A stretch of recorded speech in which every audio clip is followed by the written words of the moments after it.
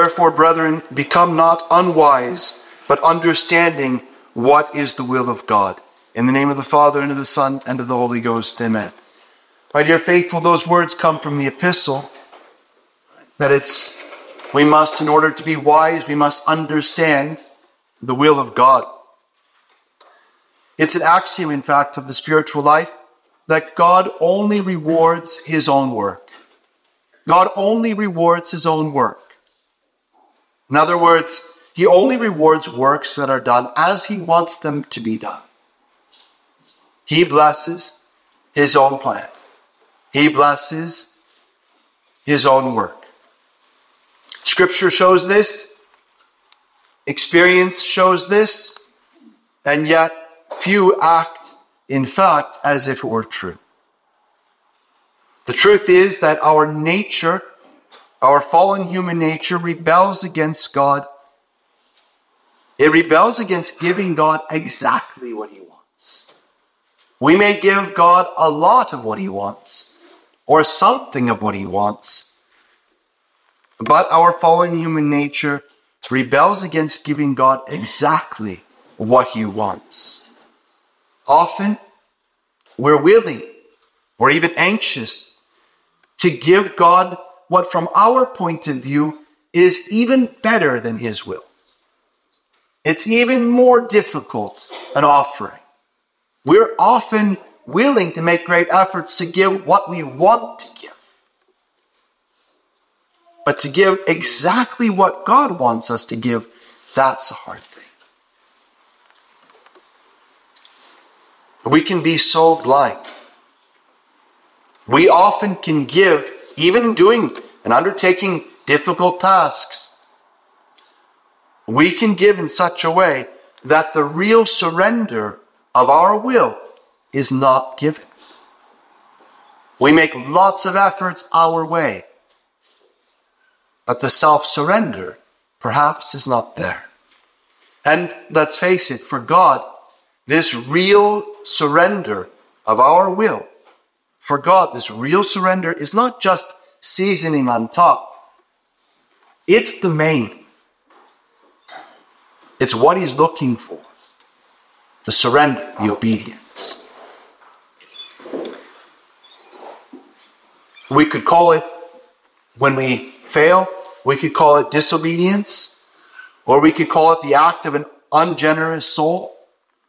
Or we could call it mad short sightedness, but it comes down to the same thing. It's a subtle contest of wills God's will or my will. And this contest of wills, you think, oh, that's just for those who, who don't try to follow God at all. There is not a contest, it's already a foregone conclusion. It's not even a battle. This contest of wills, this struggle of wills, God or God's or ours, it rages most viciously, most fiercely in those precisely who are used to giving, who are used to being generous, who have learned that sanctity is nothing other than generosity, consistent and relentless. And the nearer, therefore, a soul draws to God, the more the soul is tempted to deceive himself into giving something of his own choosing. I've given so much already. God surely must be pleased. I'll give him something as I want to give it. Something of my own creation, a recipe of my own, when God has already made it clear what he wants. The nearer, and these are the words of a lot of these ideas, in fact, are taken from Father Hubert von Zeller in a book that he wrote called Prophets and Princes. If I'm not giving direct quotation marks all the time, it's just so I don't bore you. But a lot of the thoughts are his. The nearer such souls draw to God, the more they are, they are tempted to deceive themselves into giving a natural thing when a supernatural thing is asked of them. God doesn't just want our natural plan, He wants his plan, the supernatural, fulfilled. Let's take an example from the Old Testament. The Old Testament example of Saul, the first king of Israel. You can find this in the first book of Kings, chapter 15. Basically, what happened was this God gave Saul an order to utterly destroy the wicked nation of Amalek. God is the master of life and death. God gave this, this very severe sentence. And it is a severe sentence. Destroy everything and everyone of this nation.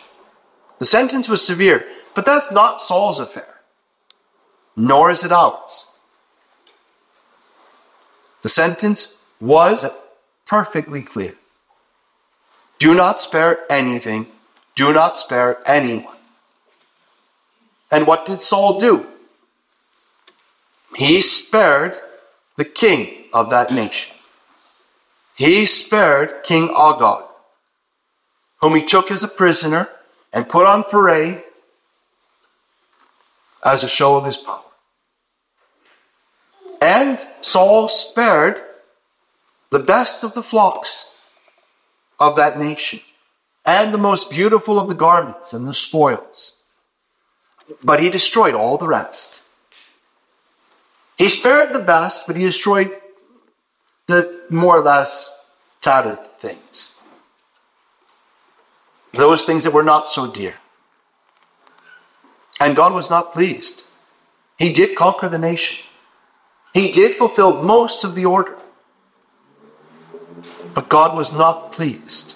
And he sent the old prophet, Samuel, who had been the very prophet that anointed Saul as king and made him king, he sent old Samuel back to Saul. Samuel arrived at the very moment when Saul was offering sacrifice of these best spoils, offering sacrifice to God. And Saul, surely a little feeling a little guilty inside when he saw Samuel. Well, he greeted him and tried to cover over what he had done. He said, Blessed be thou of the Lord.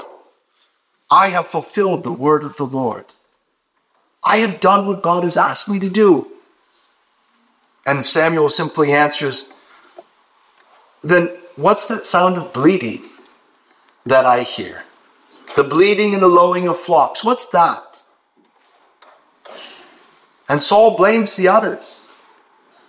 Saul says, Oh, well, they, the, my men, they brought them from Amalek.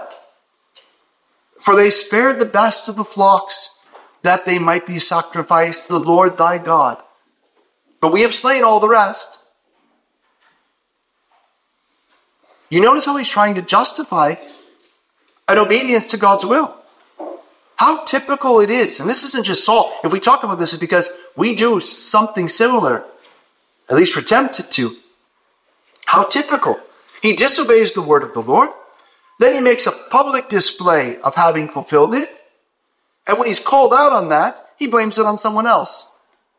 And then finally puts it all up to, well, it's done for the glory of God.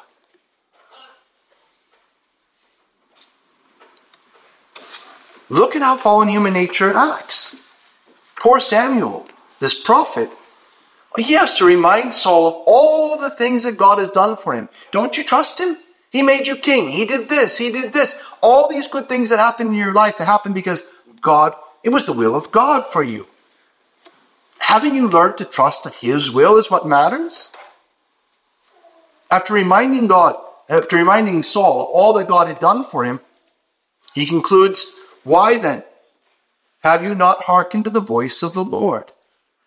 Why have you done evil?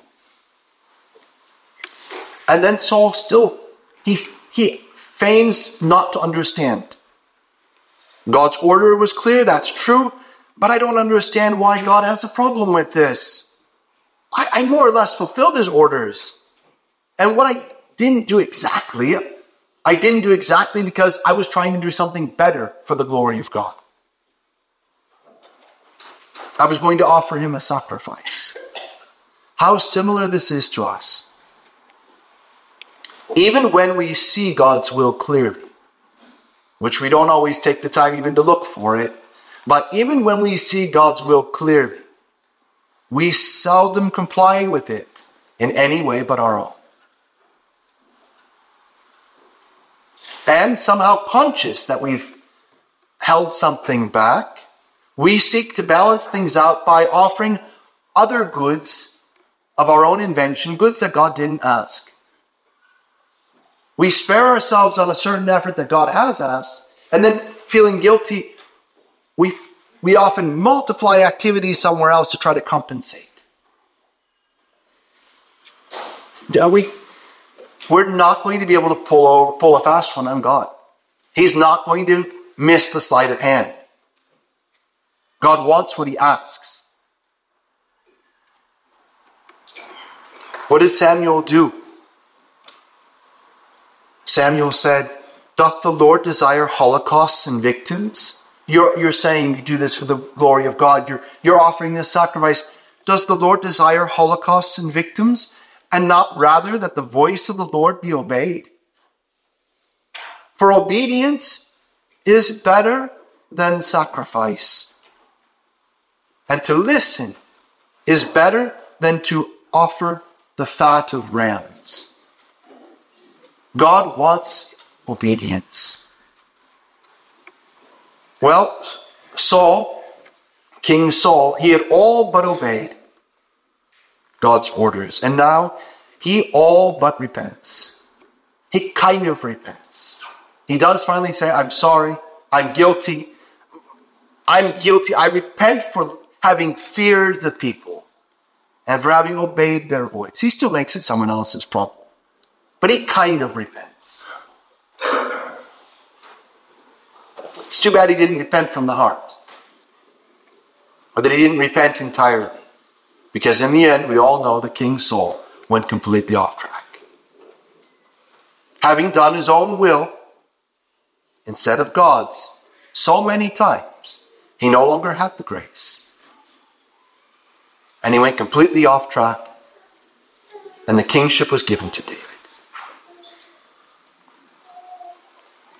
He hadn't, it's not as if he hadn't been warned. What about us then? What about us? Each of us, I think, has to reflect and see where in our own lives we try to play games with God. God's will matters. His Ten Commandments, the precepts of the church, those are good places to start.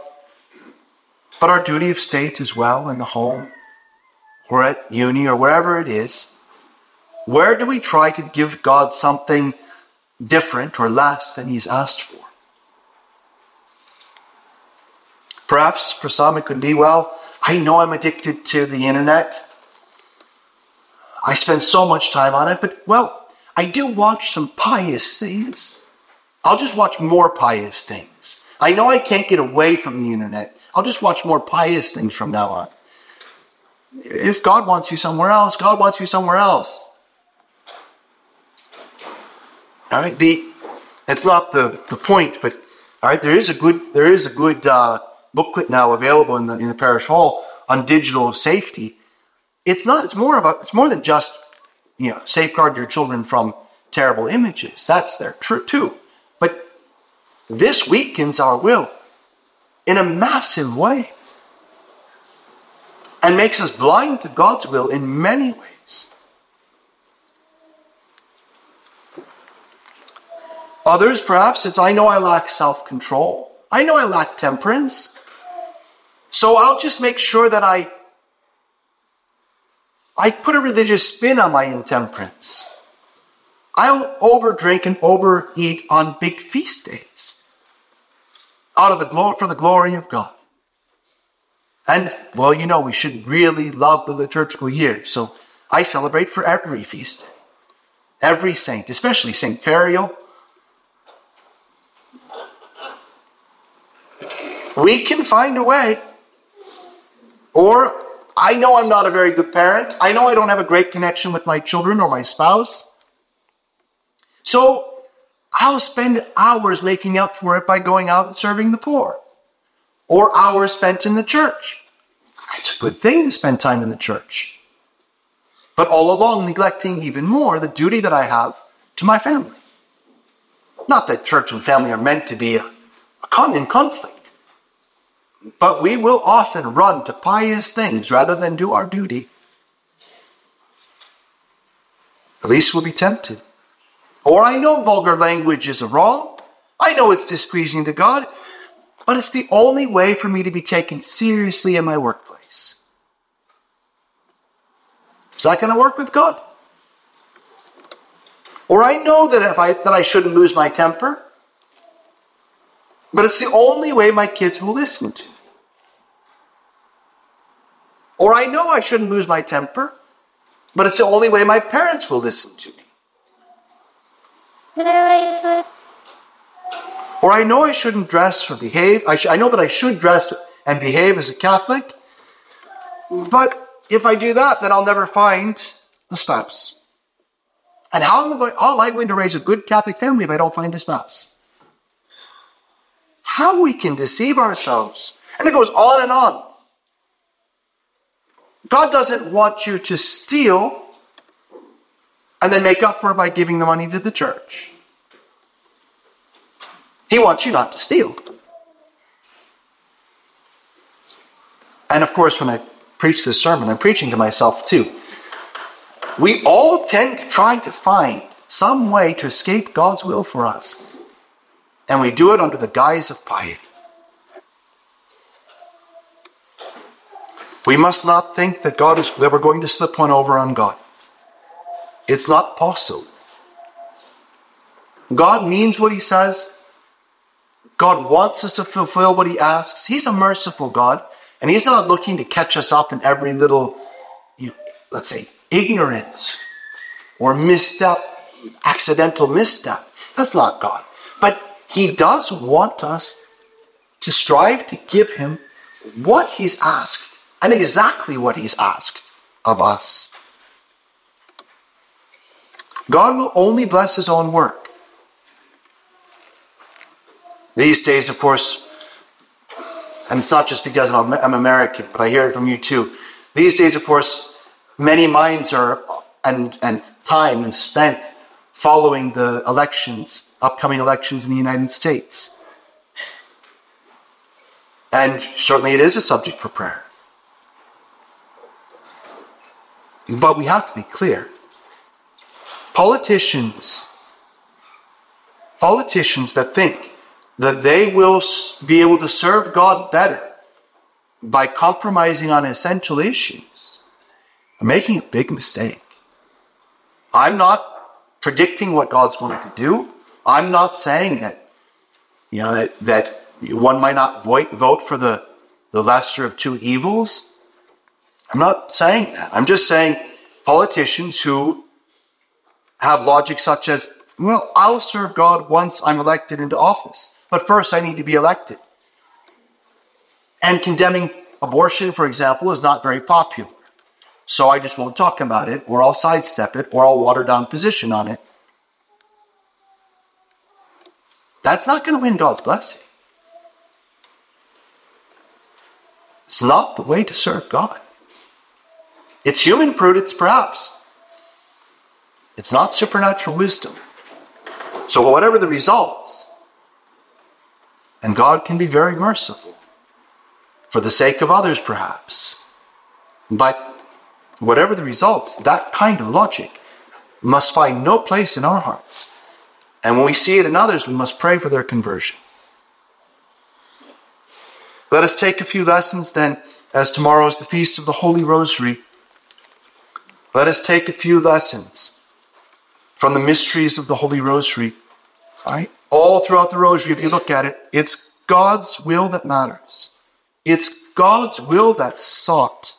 And when it's recognized, it's God's will that is immediately and precisely obeyed with a generous fiat, unconditional fiat. Be it done unto me according to thy word. I would recommend then, if you can, during the, the Mass, to reread your introit of today's Mass and to reread the epistle of today's Mass, that we might be truly wise, seeking and fulfilling always and everywhere the will of our God. In the name of the Father, and the Son, and of the Holy Ghost. Amen.